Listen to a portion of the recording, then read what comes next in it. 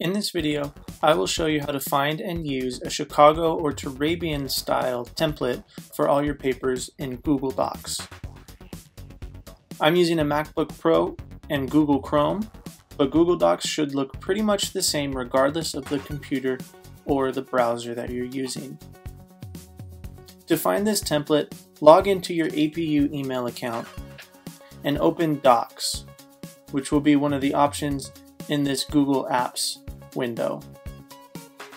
When you open Docs, your screen should look like this. You should see a number of templates available at the top of the screen above any recent documents you may have worked on in Google Docs. Click the words Template Gallery in the upper right corner. If you're in the General category of templates, click over here where it says Azusa Pacific University. In the first subcategory titled Academic, you'll notice a Chicago Turabian style template. Click on that to open the template.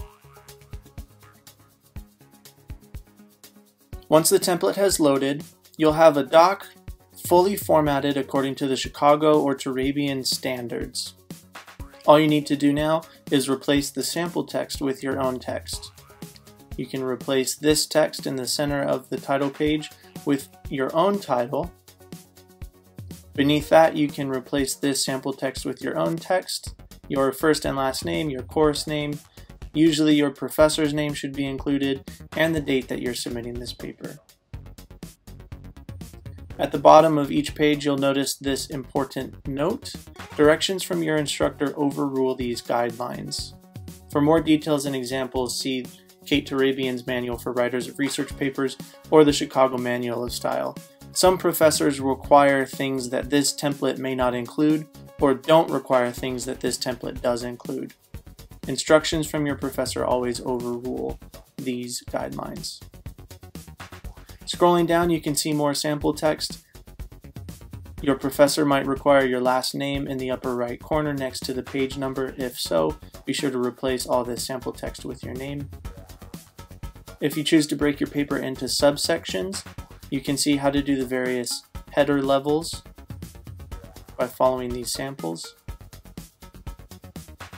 Some of the paragraphs include some instructions, though most of the text is random Latin text.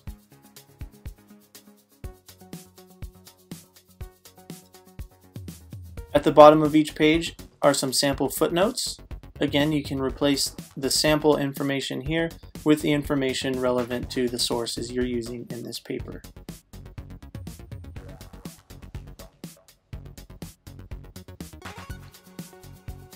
Lastly, this template includes a sample bibliography, where once again you can just replace the sample text with the information relevant to the sources that you're using.